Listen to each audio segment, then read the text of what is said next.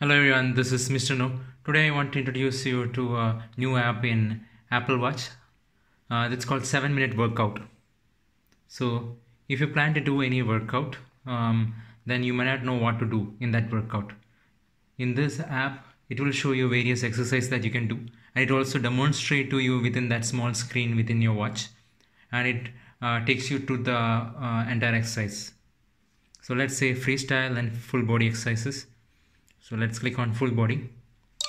Now it has started this. Let's go.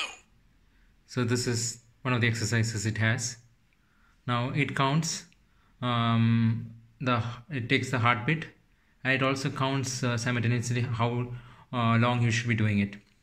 So once you are done with that then it will ask you to some take some rest and proceed to the next exercise. So it's in, in this way it is a guided exercise uh, with animation there. So you know what should you should be doing Three, in there. Two one. Next up steam engine. So the next one is called steam engine. So for this this is how you do it. Then it will start counting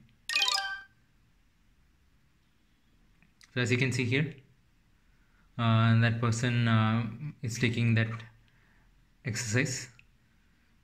So this is just a uh, second exercise out of 12 in this way there are many many many exercises within this.